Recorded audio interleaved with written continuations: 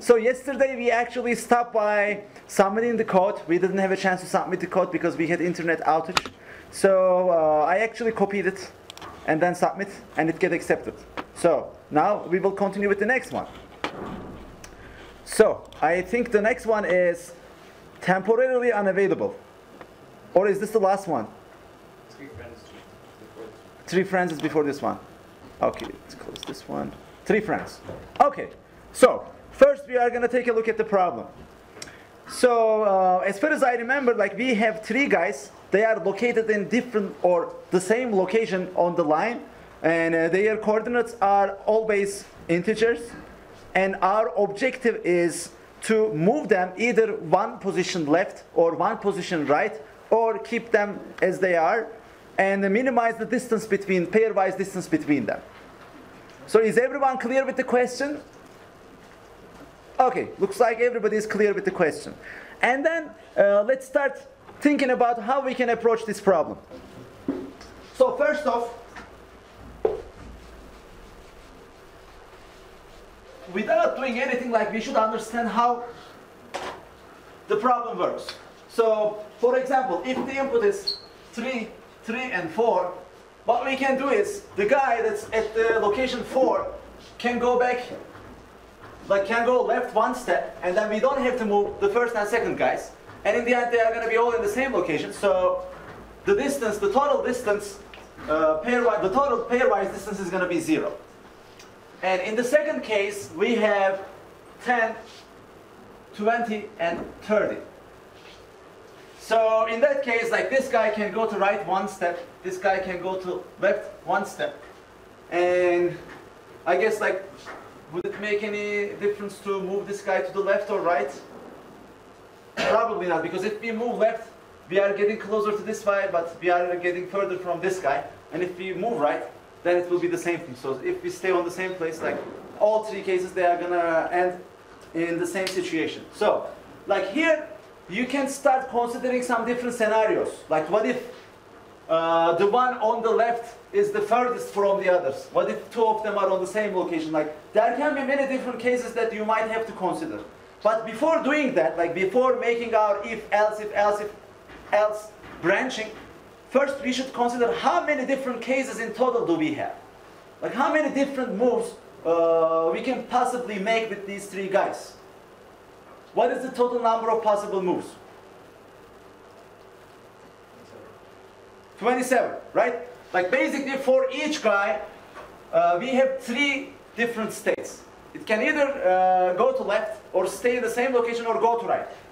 Three times, three times three. So we have 27 different cases.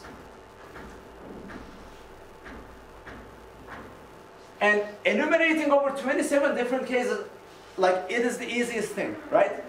Like it's not like 100 million operations. So do we really have to avoid uh, to, uh, evaluating 27 different cases and do something more specific?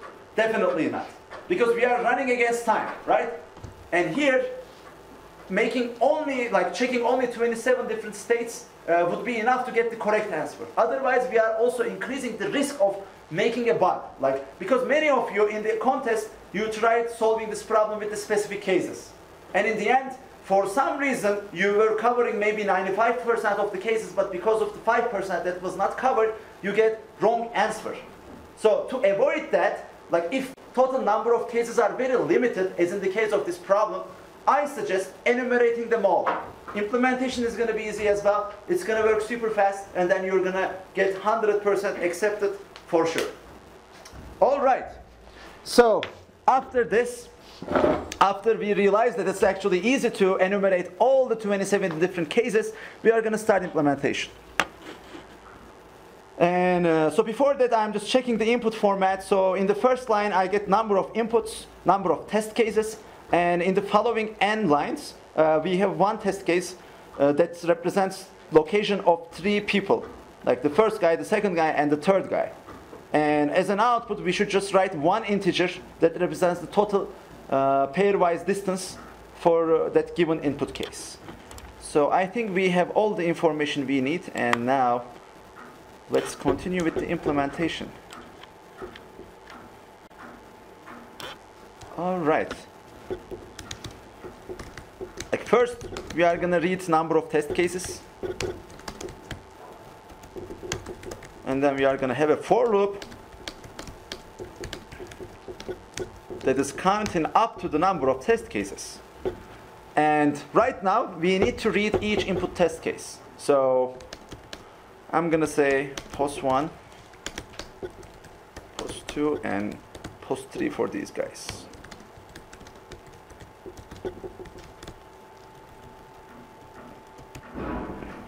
And after that, I actually don't need anything else to solve the problem. So uh, to keep the code clean, I'm just gonna write solve function, which is gonna get post one, post two, and post three.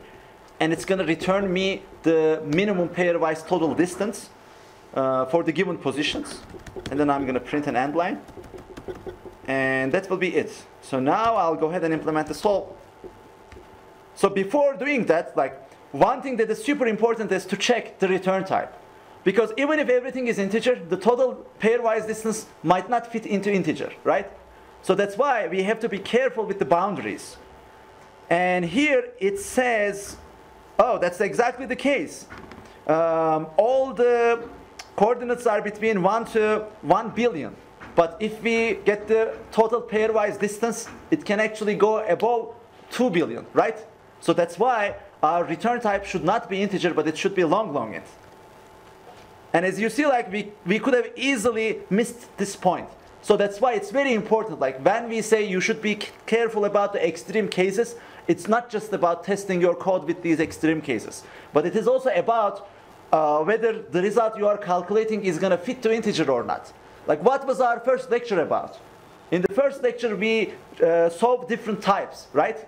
And like how big of stuff they can fit in.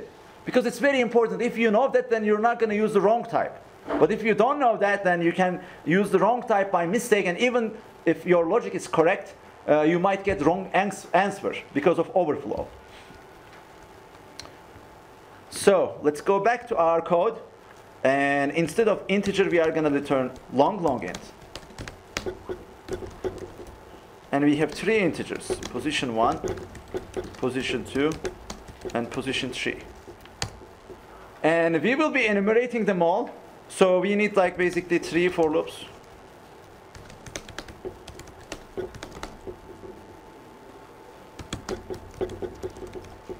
Like for each case, basically I have three states, right? I can either go left, which is represented by minus one.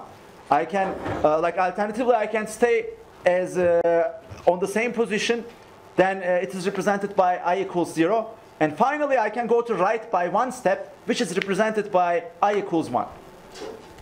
And I'll do the same thing for J and K.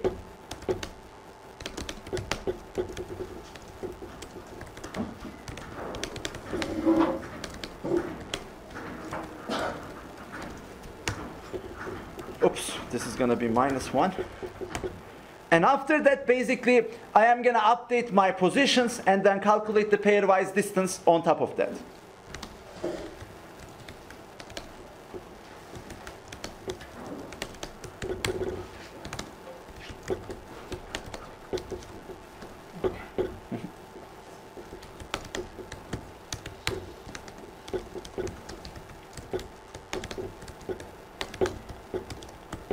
So here, like, I uh, used i, j, and k for the dummy variables. Like, since these variables are almost always used in the for loops, they are called dummy variables. And I highly recommend using those variables in your for loops, but nowhere else. Like, if you get a parameter called i, then people are going to get confused. Because whenever it is read in the function block, people are going to think that it is actually a for loop variable.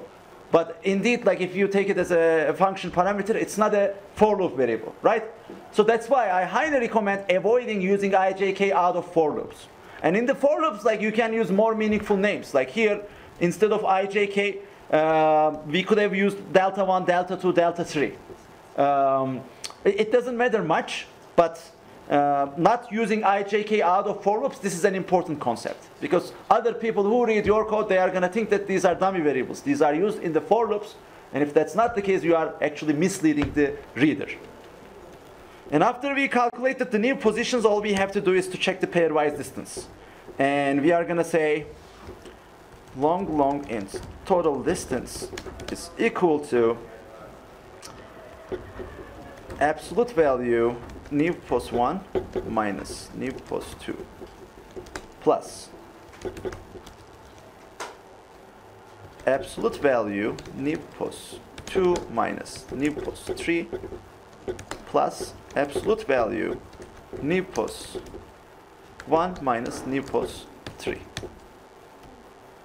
and after I calculate the total distance for this case, what I'm going to do is I'm going to check it against my solution.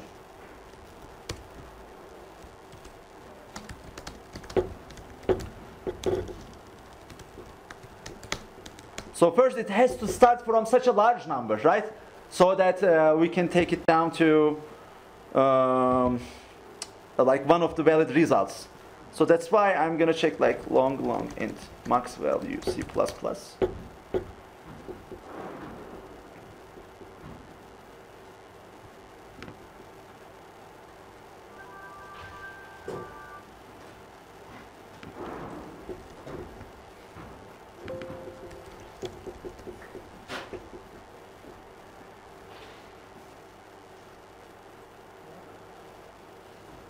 Okay, L long max is what I'm looking for.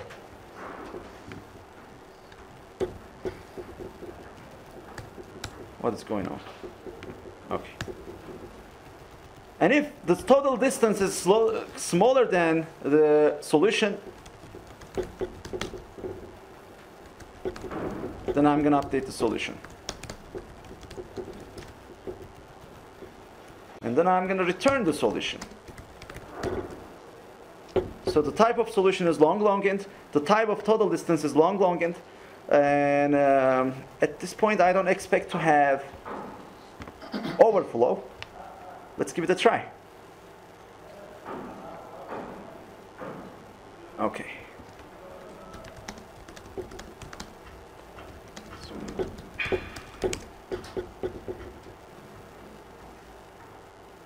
Maybe we have to include this guy. Oh, this is for C.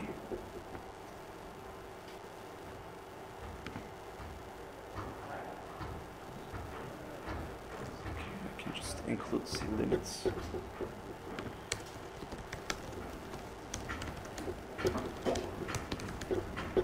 Give it a try again. And let's just copy the sample input was it? Oh, it was here, I think. Copy.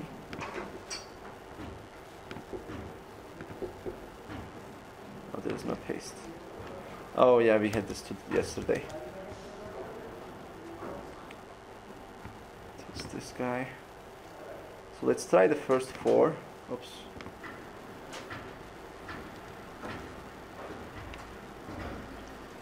Three, three, four, ten, twenty, thirty, five, five, five. 3, 3, 4, 10, 20, 30, and 5, 5, 5. So the second one was 36. I think that is correct. So let's give it a try with this case as well. Like 1, 1 billion, 1 billion, I think. Let's run it again and say 1, 1, 1 billion, 1 billion. Okay, let's see if it's correct. Yes. So at this point, um, since I was careful with the long, long int thing, and I tried some extreme cases like where the result is zero and where the result is big, uh, I, I, am confident that uh, it should probably work. So that's why I'm gonna submit it at this point. But uh, like normally, you might want to try a little more test cases. Like since I had some experience with the problem and I already caught the case where we can have overflow. Uh, I'm not going to try any other inputs at this point. We don't have a file. Let's go to submit code. Copy our code from here. Choose a problem with reference. Copy our solution. Submit.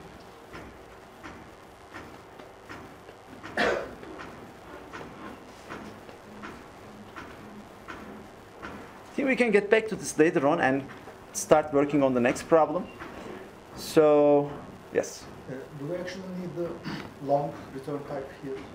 Because the maximum total pair pairwise distance could be 2 billion, I think, and 2 billion doesn't pass. Is it 2 billion? I mean, if it's 2 billion, then yes, it is, uh, it is enough. Okay, it's 2 billion, I think. Okay. If, it, if the total, yeah, if it's 2 billion, then it's enough. And if, if not, like, and if, you, if you're not sure, then it's better to use long long int. Yeah.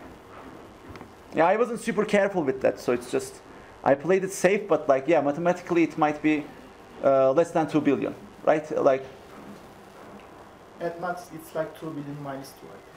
Oh no, I don't. I think it can be bigger than two billion. How about this case? Like you have one, one billion, and half a billion. So between these two, you're gonna have one billion, right? Yeah. Another 2 is. And oh, actually, you're right. So it's gonna be like in total two billion. Okay, okay. I think you're right. Yes. Yes. All right. Cool. So let's continue with our next problem, which is, is it shuffle hashing? And I, I guess after that we have temporarily unavailable. Okay. So let's continue with shuffle hashing. So in this problem, for each input, we are given two strings. Uh, where is the-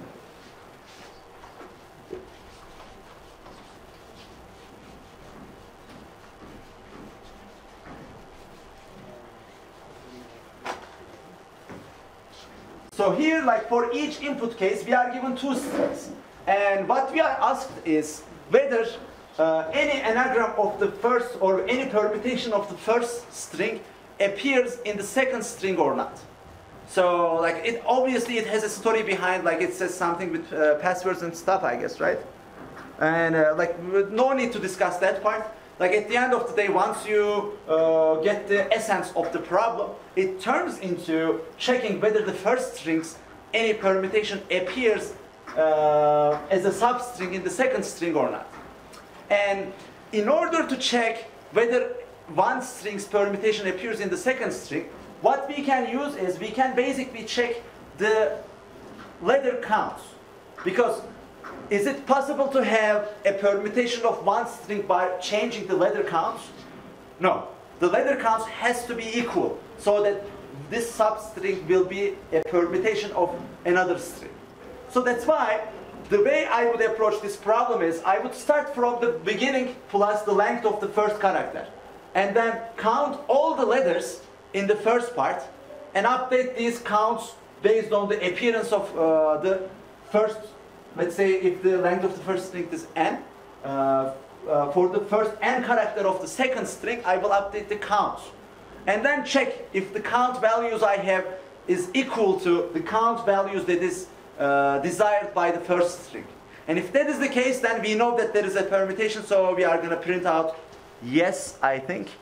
And if that is not the case, we will continue checking the following substrings. So if it is not the first substring from 0 to n, then I should check from 1 to n plus 1. And after that, I should check from 2 to n plus 3, and so on. And the string lengths are up to 100 characters, I think. So, like based on these thresholds, our implementation should uh, should do okay. So, because our time complexity is, first we are going to calculate number of counts of uh, appearance of each letter, and after that, to check the equality, we are going to be going over all our uh, counts array. So, basically, the time complexity is going to be 26 times uh, n meaning n meaning the length of the first first string.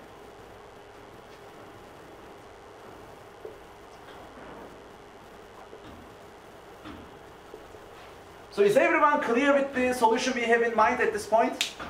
And uh, is there any other solution that you want to suggest which can be simpler than this one? I mean, there might be one, but at this point, let's say you are in a contest or an interview and you have a uh, good working solution. Instead of searching for a better one, at that point, it's better to implement it. And after that, you might be prompted by the interviewer hey, can you do it without using extra memory? Can you do it in uh, linear time or can you do it in logarithmic time? You know, they can prompt you for a better solution after you have something working. but it's important to have something working in hand at first.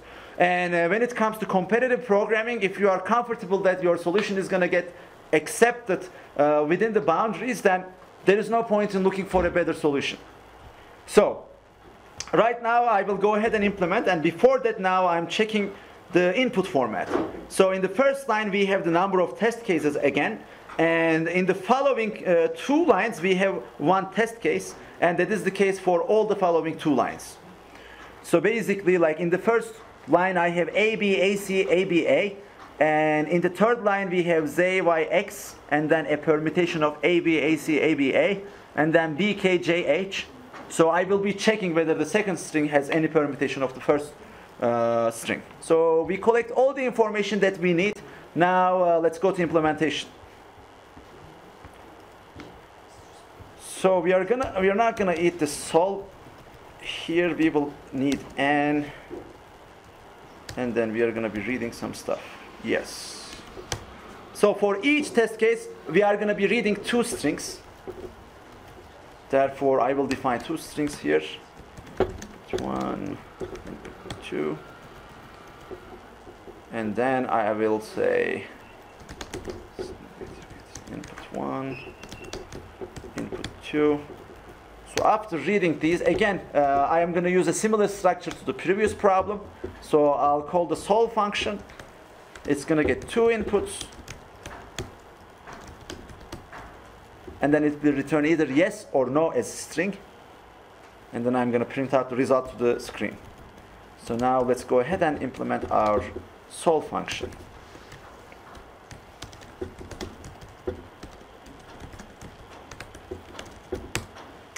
so first what we are supposed to do is we need to uh, we need to find the desired counts for input 1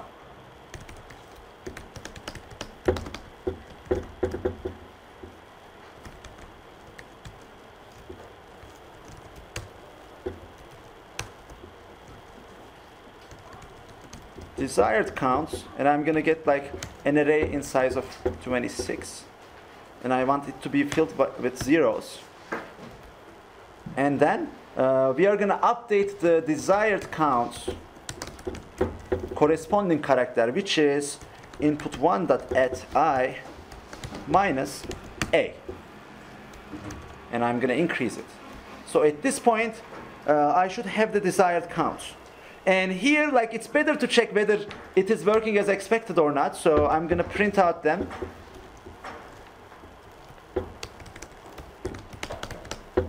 Like you can, um, you can make use of this practice in the contest environment often.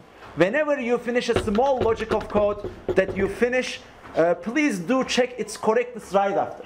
Because if you do that, you basically decrease the risk of making bugs in the end.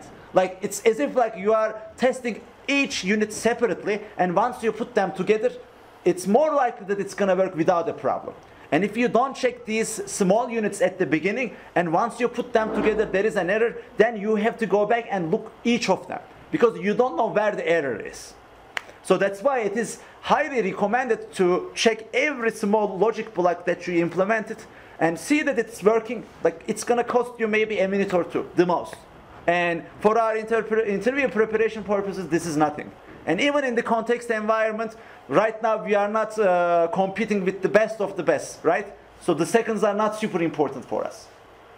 So that's why I highly recommend uh, applying this practice. So check every single uh, small unit right after finishing it.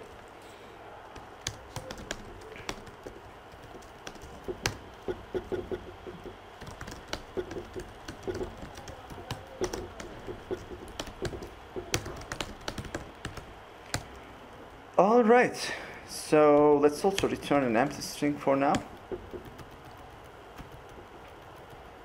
And let's give it a try to see whether our counting for letters for the first string works or not. So I'm going to say there will be only one test case. And the first string is AA, BBB, C. Second string is not important. And I would like to see the output. So it says two A's, three B's, and one C, and the rest is zero. So it is working as expected. Therefore, now I can confidently continue with the next steps. And moving forward, I don't have to worry about this part anymore because I know that uh, the desired counts are calculated correctly, right? So no point worrying about this part anymore. So once I have the desired counts, what am I going to do is first I need to initialize the counts that comes from the second input.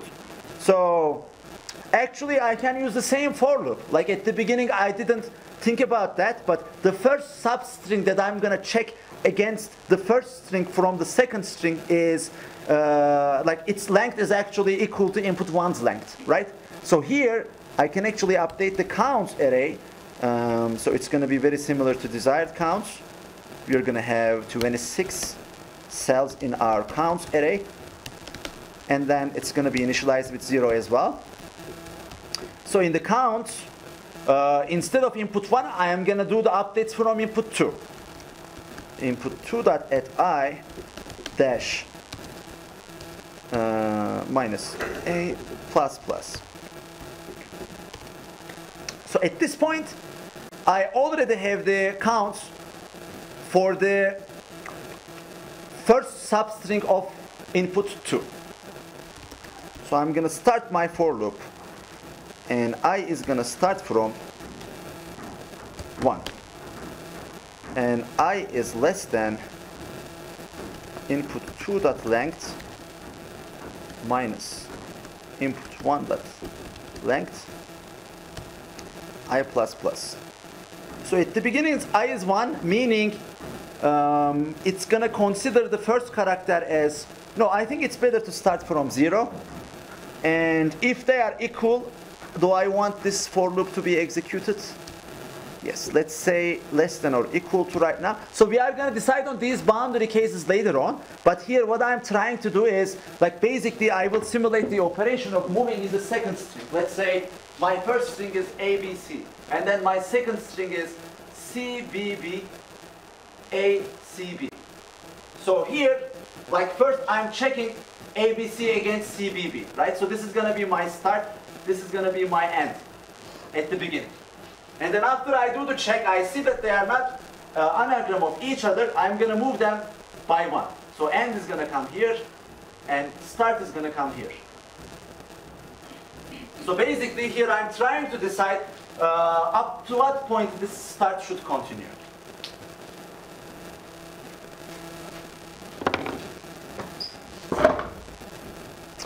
Actually here I can do this.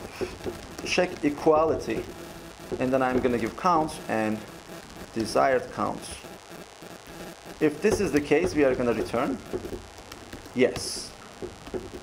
If this is not the case, then uh, we are going to start from, let's say 0 for the start, and then it's going to go up to input 2 length minus input 1 length, uh, because these are all valid remaining start points.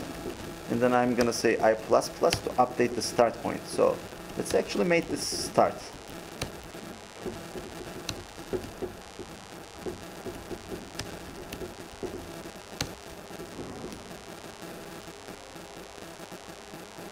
It can start from 1 if it starts from 1 then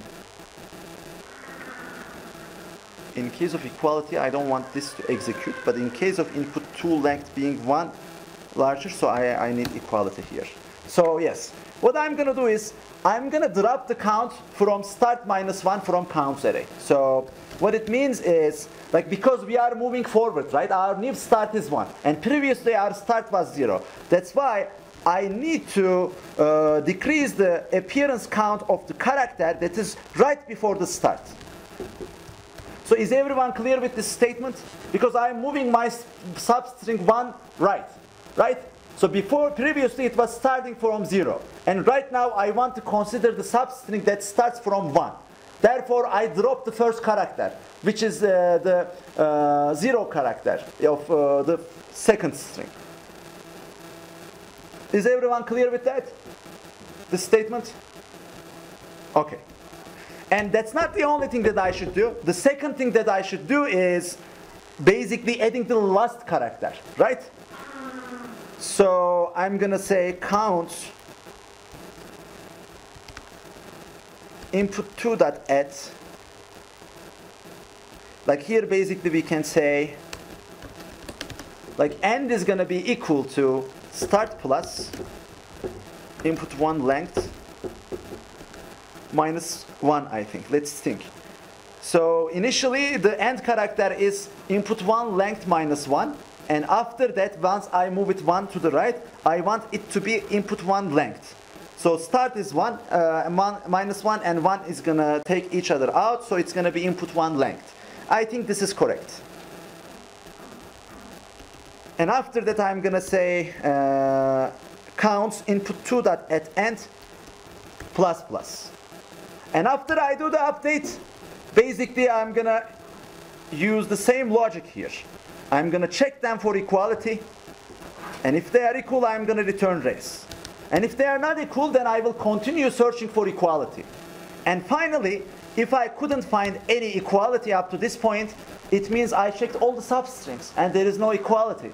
So uh, I have to return no here like as you see like we approach the problem top down we divide it into different logic units and then after we finish implementing one we go to the next one like this way, everything is clear about how I'm gonna start from the beginning and then approach to the end desired solution.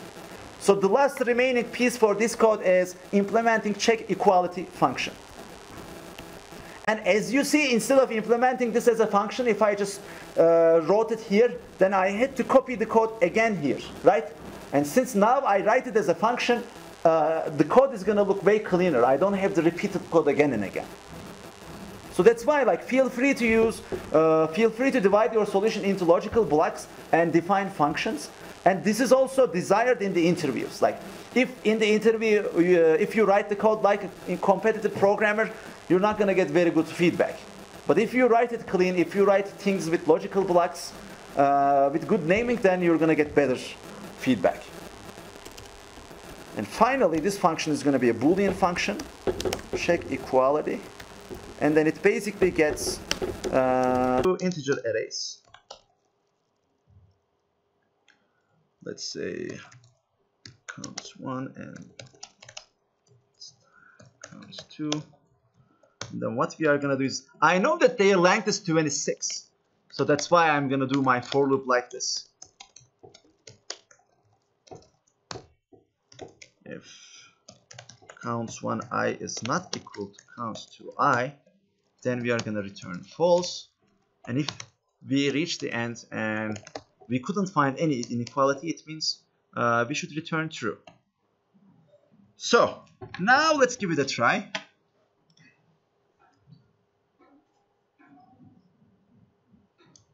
So let's go to our input case here. Since I'm not able to copy to there, um, let's let's write our own input so let's say 5 and first we have AB AB AC and then we have something. And then AC BA BA and then something. So for the first one we expect the answer to be yes. And the answer said no. As minus a line 29. At 9, line 29. No, sorry. sorry. Uh, 30, 38. 38. Oh, yes, yes, yes. Thank you very much. Okay, so let's stop. Yes.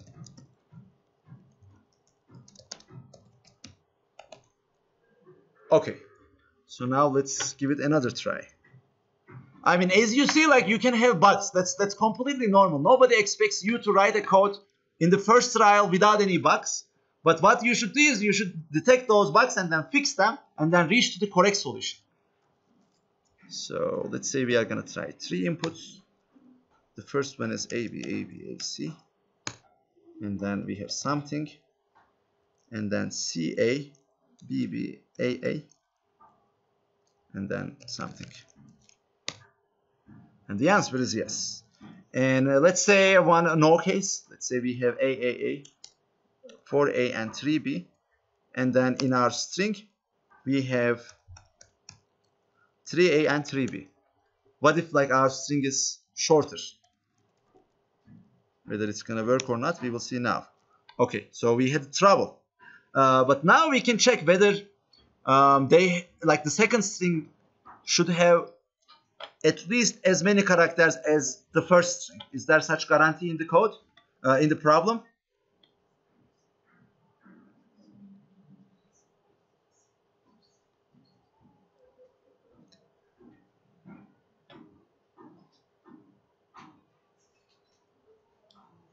Okay, so it doesn't say anything about that. So that's why we have to consider this case. Like as you see, by trying an edge case for our program, we actually find a case where it is not working. So now uh, we should go ahead and fix this. Like basically this is an extreme case where uh, input 2 is shorter than input 1.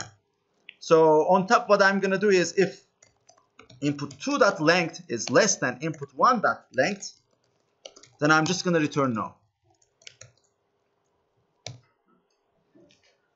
Because there is no way we can have the uh, we can have input one as substring and input two input two is shorter. Okay, so now let's give it a try again. Let's say uh, we are gonna try two cases. First, let's try the first case, like input one is longer than input two. It says no now, it doesn't break, which is good. Uh, now let's consider a case where the length is equal, but um, there is no substring. So let's say we have AAA, and then we have AAB, AAB, BB, AABB. And the answer is no. Okay. So uh, is there any other extreme case that you guys might want to check for such problem?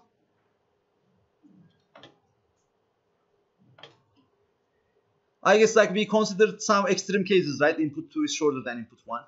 And some yes answers, some no answers. So at this point, I'm going to go ahead and do the submission. And let's just check our input uh, one last time to see if there is, like for example, if there is any empty string case, for example. No, there is no empty string case. And let's also make sure all the characters are small letters.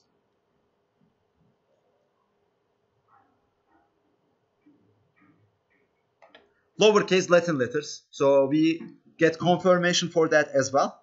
And I think we are ready to go right now. So let's click on submit code. Let's copy our stuff from here.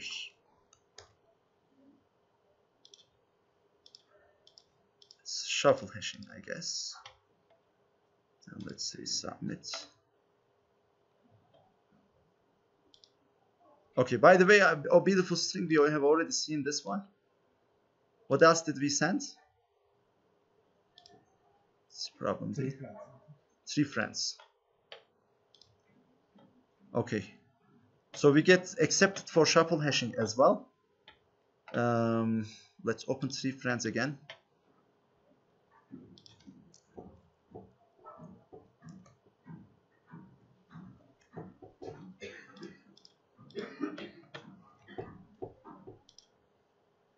Okay. It says Happy New Year. I guess this means accepted, right? Okay. All right. So far, uh, do we have any questions? Like as you see, once we divide it into small logic chunks and then test everything, still we can have bugs. Like Murat pointed out that I forgot uh, taking out the value of character A. Uh, but that's very normal. After you give it a try, you're going to see that you get wrong results and then you are going to look back at your code and then you're going to pinpoint where your problem is. But uh, if you want to decrease the time that you're going to spend with debugging your code, it is highly recommended to divide it into small chunks and then test each chunk right after you finish implementation. Because this way, like, you know where exactly to look for. Uh, like, if, if there is a problem with connection of all the small uh, logics, you're going to see the problem in the end and you know where to look for. But if you don't test anything and then in the end you get the uh, wrong answer, then you, everywhere, the bug can be everywhere. Okay? So that's why it's very important to finish the small logics first, test them, and then connect them. Okay, any questions up to this point? If not, we will continue with the next problem, which is, yes. Okay, I think I think that's enough. Like we covered like two questions right now, right? Okay, okay, let's do that. Let's take a minute of break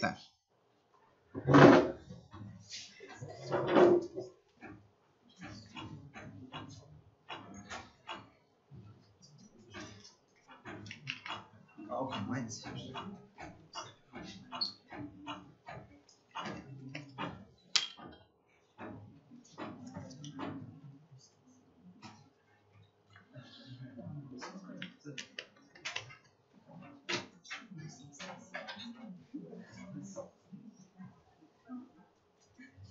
So what do you guys think about this kind of uh, problem solving sessions? Like, do you guys think that it's valuable? Should we also do this for a little harder problems as well?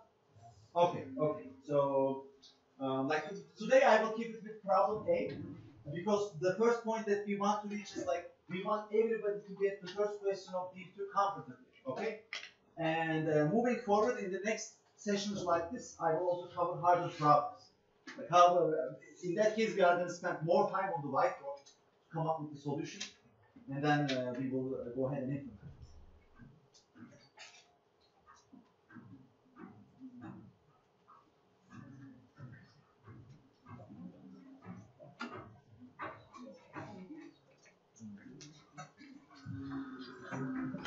So let's make use of this time and check the progress.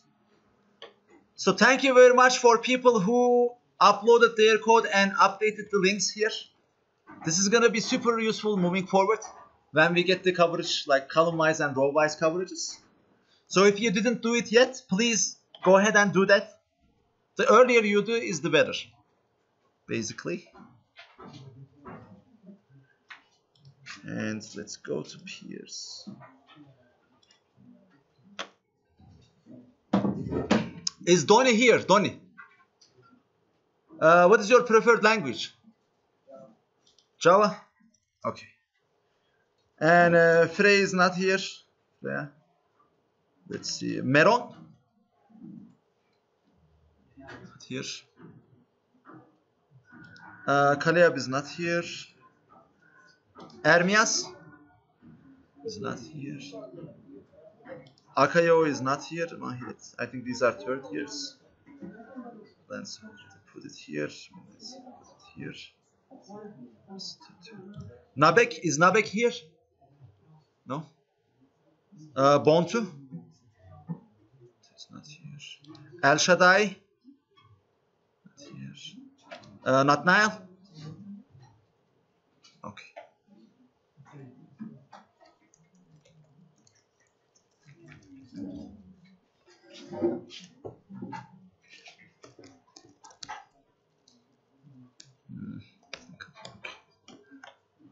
Let me know when we are ready again.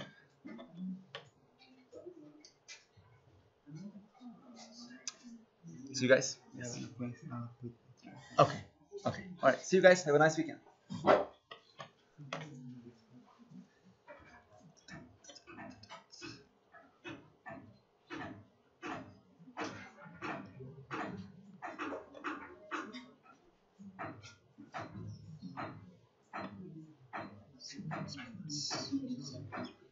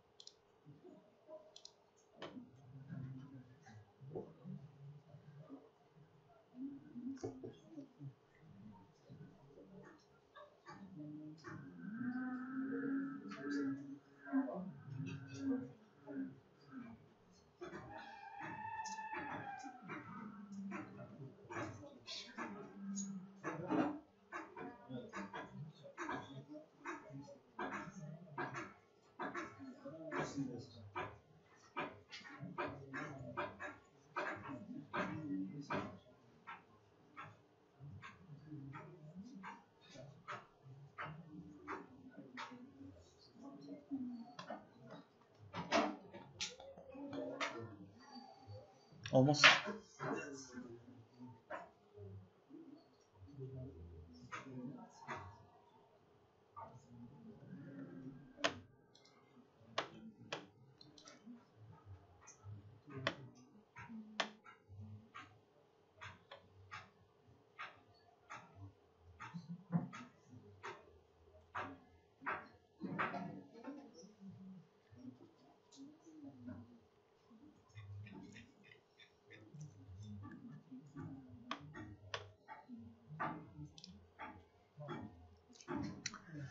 So in the meantime, I can uh, demo a couple things to you guys. So the first one is, uh, maybe I already mentioned about this, but if you didn't hear about it, so there is this extension, Chrome extension called uh, Momentum.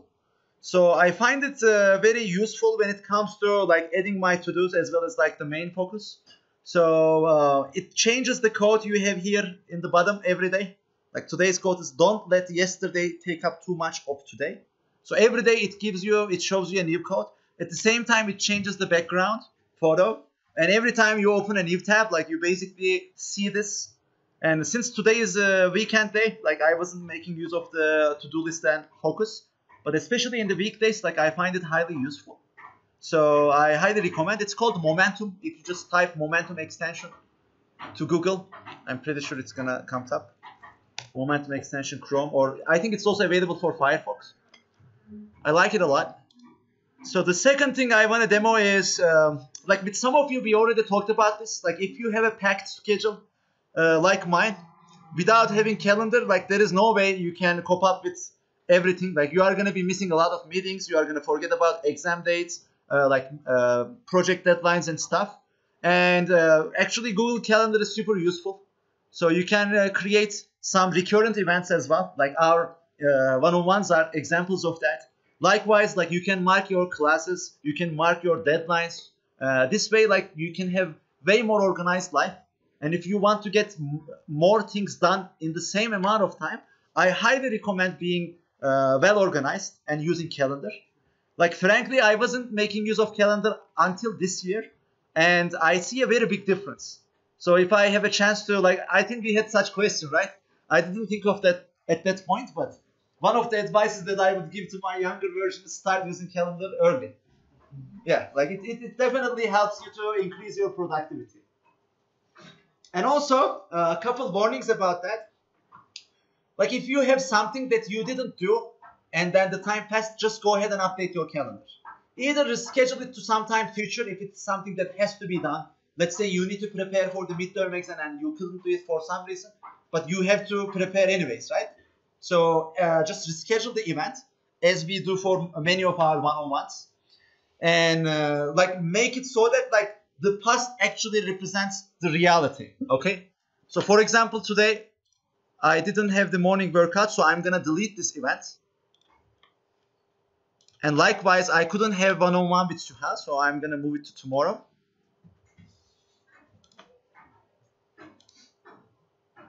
Like this way, when you look back in your calendar, the calendar is going to represent reality. And uh, that way, like your current version, your previous version, and your future version, they will be all in sync and harmony. Because like you are creating all these events and you are putting them on your calendar, right? So you are responsible to yourself. You're not responsible to someone else. And if you get used to not feeling responsible to yourself, which can happen in case of uh, not your calendar representing the reality, uh, this is not a desired state. So that's why I also highly recommend uh, update your calendar frequently so that it represents the reality.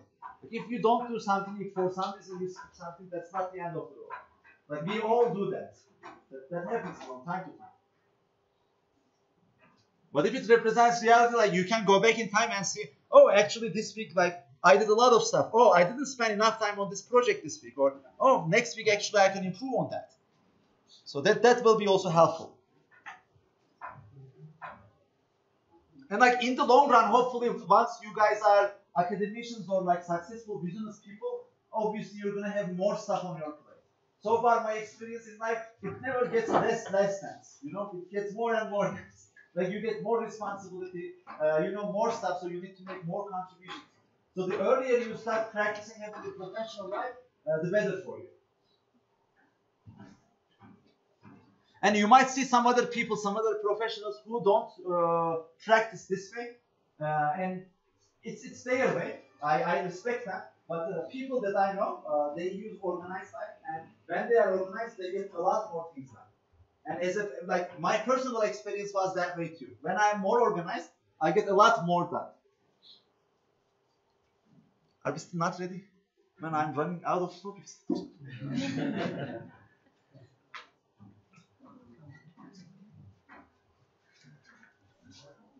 so I can also recommend a website. Um, it is news.ycombinator.com. Have you guys ever heard of this?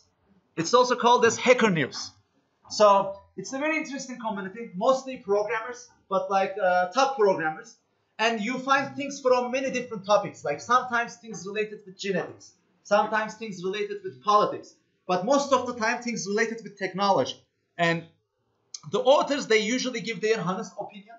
Like as you see, the user interface is not for anybody, like it's more for programmers, like text-based. And uh, like usually, I learn many interesting stuff here. So instead of reading news, I check hacker news. So stuff here usually, it is, in my opinion, helpful in the long run. Like if you read just today's news, no matter what country's news you are talking about, in one week, at least half of it is not be. In one month, 99% of it is not going to be used. Uh, but if you learn something that is going to be helpful even after three months, even after six months, in my opinion, it's a better use of that time. If you learn something that can affect you in the long run, obviously it's a good information to keep in your mind. And in Hacker News, usually they cover such stuff. Like a lot of stuff related with machine learning, a lot of stuff related with software engineering, a lot of stuff related with different uh, problem domains as well, like uh, developing technologies. You can find posts about them. And also, it's not just about the posts. The comments are also very useful. Like, for example, let's uh, find one.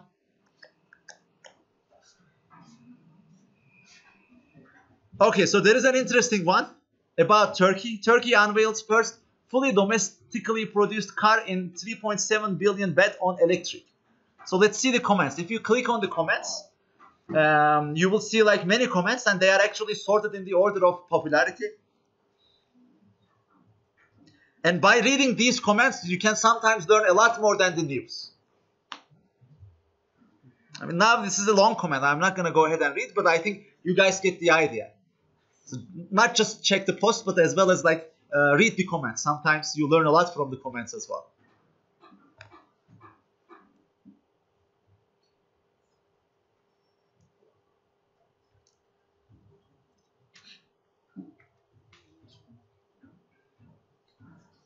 Are we ready? All right. So in that case, let's go back to our competitive programming world and continue with temporarily unavailable problem. Yes. So like basically as it is illustrated by the photo, by the picture that's in the bottom, like in this problem, we are given two points. First, this is our start point and this is our end point. And our guide goes from start point to the end. And also, we have one cell tower, like which is covering some area that may or may not intersect with the way that we are walking. So in the given example here, it is actually intersecting, fully intersecting. Let's make it a line. So our end point is 10. And our start point is 1 and the cell tower is located at 0.7 and then its coverage is from 6 to 8 and here we have 1 2 3 4 5 6 7 8 9 10 and the question is basically asking how many of these uh, we have covered? Like during our walk how many of the intervals are covered by the uh, cell tower or not covered. I, I don't remember which one it was asking, but once we find one, the other one is also in our head. So for this example, it's one, two, three, four, five, six, seven. So like we are not covered for seven cells, like seven intervals. Which are not covered? Look, at the end of the day, this problem comes down to intersecting two given line pieces, right? If they are not intersecting, our result is the length of the first line piece. If they are intersecting, basically we are taking out the intersection from the first, uh, the length of the first line piece. And this is our result for all the cases. So any objection to this proposed solution? And if we don't define it this way, again, we might have to struggle with solving many different sub-problems. Like what if I am walking from here to here and the cell tower's coverage is on the right? What if the cell covers uh, cell tower's coverage is on the left? What if it is intersecting from the right hand? What if it is intersecting from the left hand? What is what if it is completely inside? Like I, I'm pretty sure some of you guys went with uh, this solving these sub problems, and in the end, again, maybe you covered 95% of the cases, but because of the 5% uncovered cases, you get wrong results. So that's why I highly recommend spending a little more time when you have such kind of a solution which has a lot of branches, a lot of sub problems, to see if there is more generic, more general algorithm that you can apply and get the results in a cleaner way. Because if you are going through this path, you are going to consider like six maybe different sub uh, problems. You increase the risk of making some bugs, plus you're not sure. Maybe there is one more case. What if they are exactly touching to each other? Is your code doing the right thing in that case or not? Like you wouldn't know.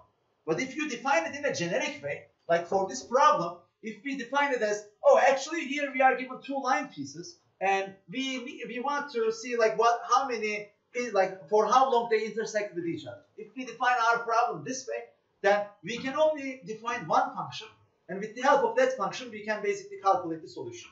Okay? So that's why it pays off to spend a little more time if you think that there are too many sub cases, too many sub problems. And this can be especially the case for the easy problems, you know.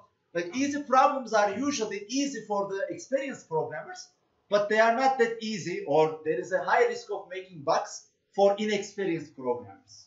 Okay? So that's why uh, pretend as if you are an experienced programmer because you are becoming one as uh, doing more and more practices and uh, try to find generic solutions instead of one at a time solutions. Uh, the question? Okay, so in the question, what it asks you is, like we have one guy that is moving from point A to point B. Like for this example, the guy starts from 1 and then he is walking towards 10. And there is one cell tower. Its location is at 7. It is also given in the input. And the coverage of the cell tower is also given. And for this input, it is 1. And once we have a cell tower at 7 and its coverage is 1, obviously it is covering from 6 to 8, right? And the problem is asking, when we are walking from 1 to 10, how many of the steps we have, or like how long of this interval is not covered by the cell tower? Like basically here, the guy will be covered for two cells, and he will not be covered for seven cells. Because from 1 to 10, we have like 9 cells, or like 9 intervals between 1 and 2, between 2 and 3, and so on. Is it clear now? Okay. So any questions up to this point? If not, and uh, since we have a solution in mind, basically, we are going to write a function to find the intersection of two uh, line pieces, and with the help of that, we will find the answer. Now let's go ahead and implement.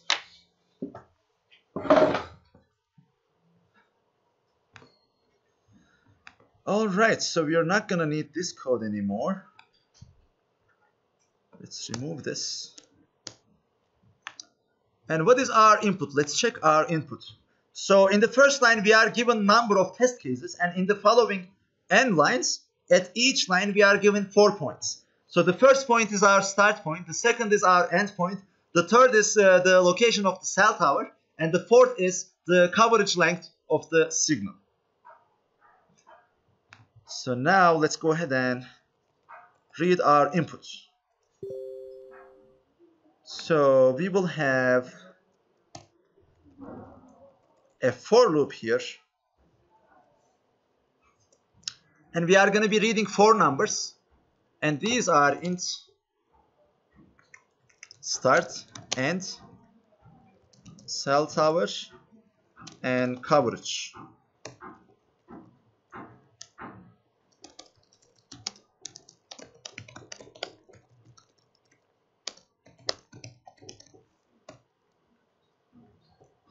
again we are gonna we can use a function like solve and give all the information that we have here start and cell tower and coverage.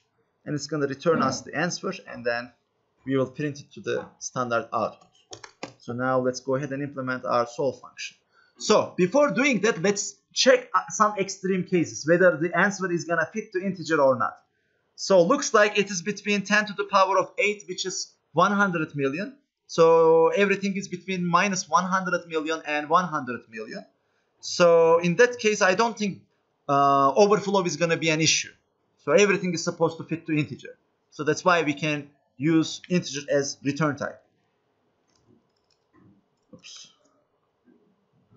Switch our tab. And we are going to implement our solve function. Solve takes start and cell tower location and coverage.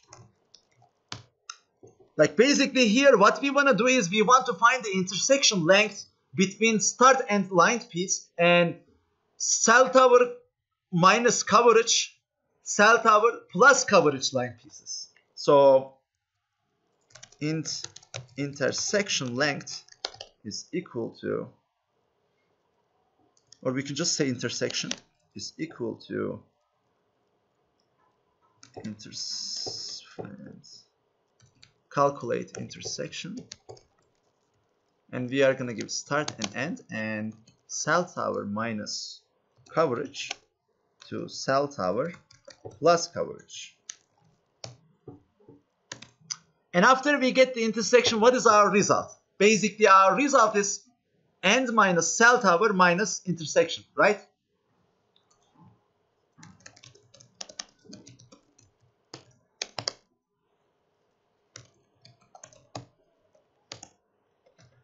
So now implement int calculate intersection.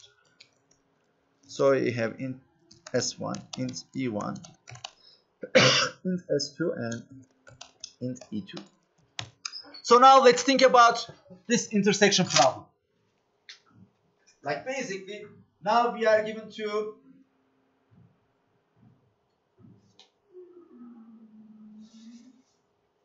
line pieces. So they might be intersecting or they might not be intersecting at all.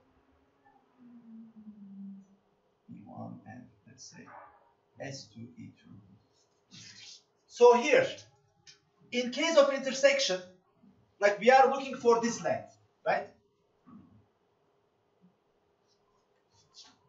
So it can be the case that uh, the first line ends before the second line, or another case can be the first line actually ends after the second line. So it can be like this as well. S1, E1, and S2, E2. So this time we will be looking for this.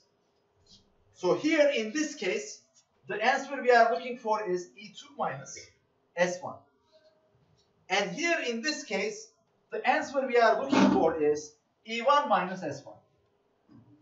So is everyone able to follow up to this point? Oh, this is S2, right? Thank you. E1 minus S2. Yes. So is everyone uh, following up to this point? Cool. So now what we can do is instead of handling these two cases separately, let's think about whether we can merge them or not. Because like, if we can merge them, then our code is going to be simpler, right? So here, did you guys notice something in common between two cases? Like which endpoint do we choose when we are calculating the intersection?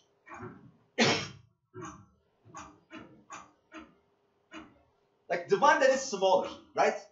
Like here, E2 is smaller than E1, that's why we choose E2. Because there is no way uh, E1 is going to be part of the intersection if E2 is smaller than E1, right? So actually the first thing that we see in common here is like we are basically choosing minimum of E2 and E1 as our endpoint for the intersection. How about for the beginning of the intersection? Maximum of the start points, right? So we basically take out maximum of the start points. Like once you think about it, it makes sense, right? Because we are talking about intersection. Intersection has to appear in both. So if one end is greater than the other, is there a point thinking about difference between uh, the greater end and the uh, lower end? No, because there is no way that part will be in part of intersection. Likewise, when we look at uh, the thing from the star's perspective, is there a point taking the part that comes from the difference between the early start point and the uh, later start point? No, because intersection is not started yet here. So that's why we get the maximum of these. So with this formula, we are able to represent both intersection cases uh, in one place, which is good. Now let's think about this case. What if they are not intersecting with each other? What would this formula give us in that case? Like the minimum of the start points, uh, sorry, the minimum of the end points is E1. And the maximum of the start point is S2. And if I decrease, uh, if I take out this one from this one, what kind of number am I gonna get? A negative number, right? So basically, I can easily, easily distinguish this test, this case. If my intersection length looks negative, then I can say, oh, they are not intersecting, right? So looks like with one formula, we are able to handle this case. Now let's go ahead and write it.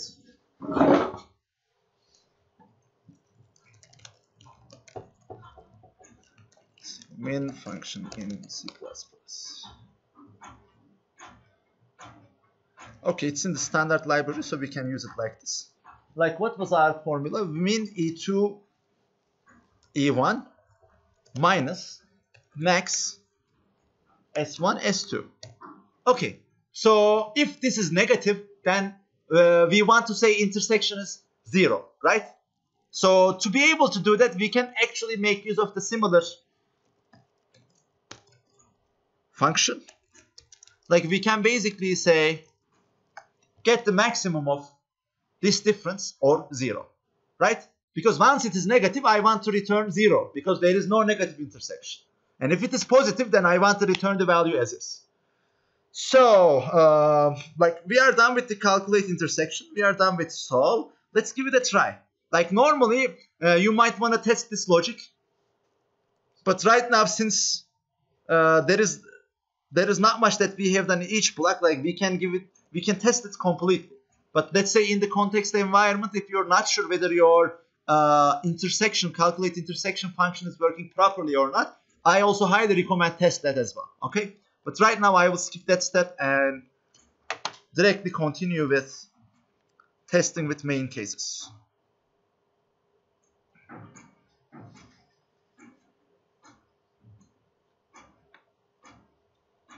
Okay, we have an error on 31.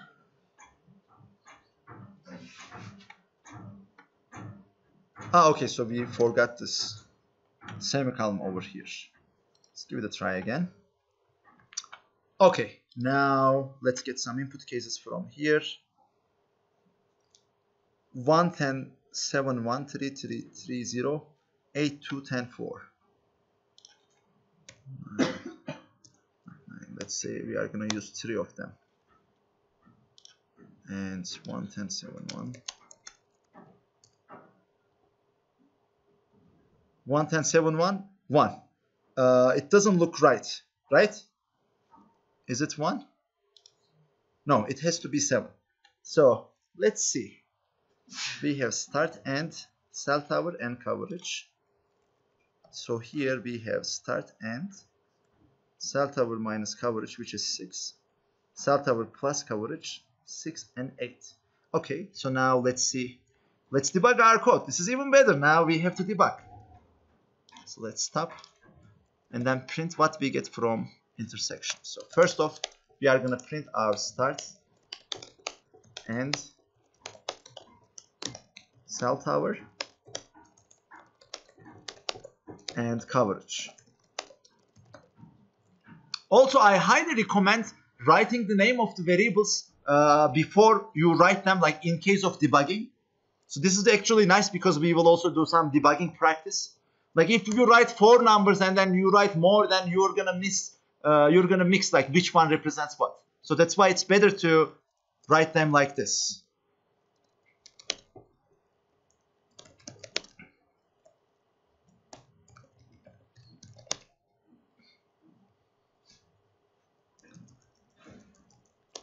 Coverage. Okay. And after that, we can also print the intersection. And I think I see the bug right now. Here, instead of writing and minus start, we write and minus cell tower. But for the sake of completeness, let's go ahead and print our intersection as well.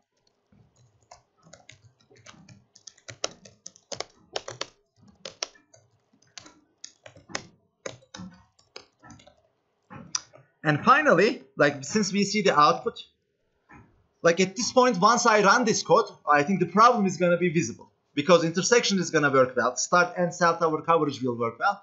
And we will point our finger to, oh, something is happening at the end of the solve function. And let's go ahead and do this now. Excuse me.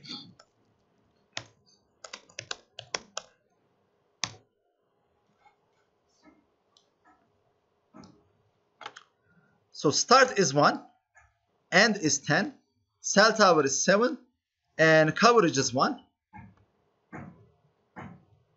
But after intersection, oh, I put and oh, I said end. Let's make it end line. Because looks like we might still have some trouble. Let's give it a try. 1, 10, 7, 1.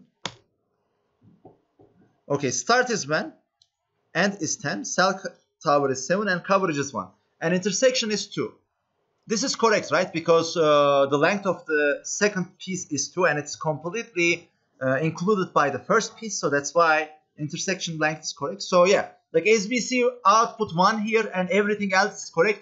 Obviously it's gonna tell us something is happening right after we calculate this intersection. And then it's gonna like once we look at the solve function we are gonna easily see that and we are gonna fix it. So now and also, uh, one thing that I highly recommend after you are done with debugging, but you didn't still get the confirmation about your final result, instead of deleting your debug, debug code immediately, just comment it out. Because at this point, yes, I think it is uh, correct, but I don't know for sure, right? So it's better uh, not to delete it. Otherwise, like you are going to be uh, writing it again, or you know, you are going to press Control Z, Control Z. So it's going to take more effort. So it's better to just comment it out. Okay, you might need it again you already prepared it once. Because you might have to add, for example, if this debugging was not about the whole code, but for just only one uh, piece, then you might want to keep it on. You know, maybe after adding the second piece, you, you might still want to refer to the previous debug code. So that's why until you get to final confirmation, it's better to keep your debug code inside, just comment it out, and uh, you can easily activate them in case they are needed. So now let's give it a try let's say we are going to try it. Four inputs and then 1 10 1 10 1 7 1 okay so now we get the correct answer for this one. And the second case test case is 3330 3330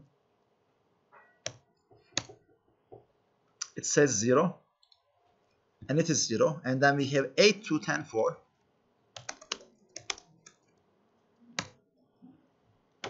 it says minus 6. I think we get another point, another uh, problem here. Right? For 8, 2, 10, 4. Let's think about it. Start is end. Okay, so basically, um, if start is greater than end, it shouldn't be that way. So basically, we need to uh, change the order.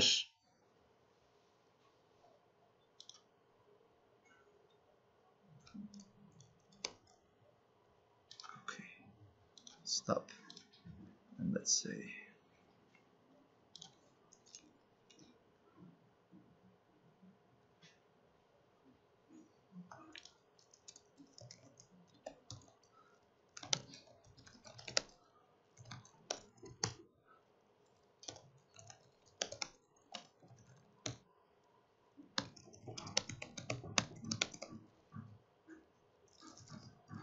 By the way, uh, do you guys know how to swap two elements without using a temporary variable?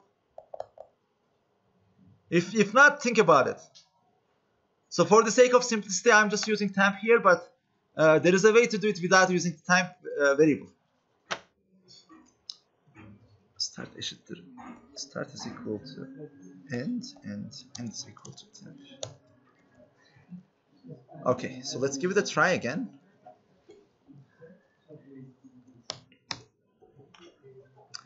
Let's continue with our problematic input, which was 8 to 10 4. 8 to 10 4.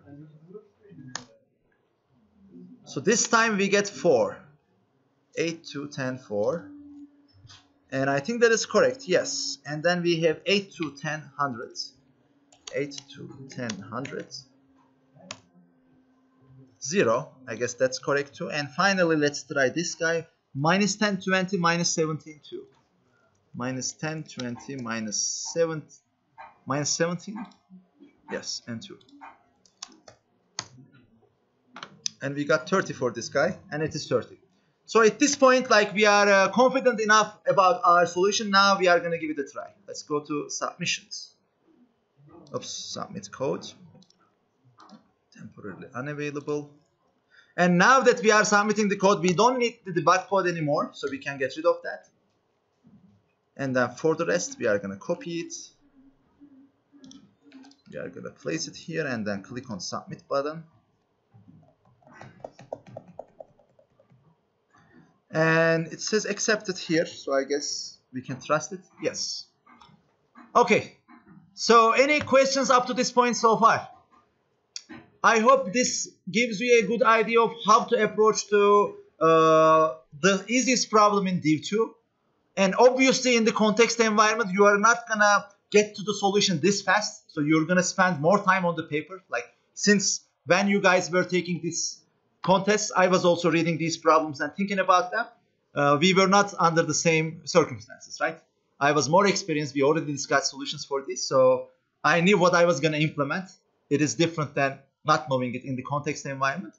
Uh, but I think it gives you a good idea of how you should approach to the problem, how you should divide it into small chunks. Even for such easy problems, it's better to modularize your code and try to handle different pieces by very simple uh, logics, uh, by very simple units, and test them right after you write these, uh, right after you implement these small, uh, small units.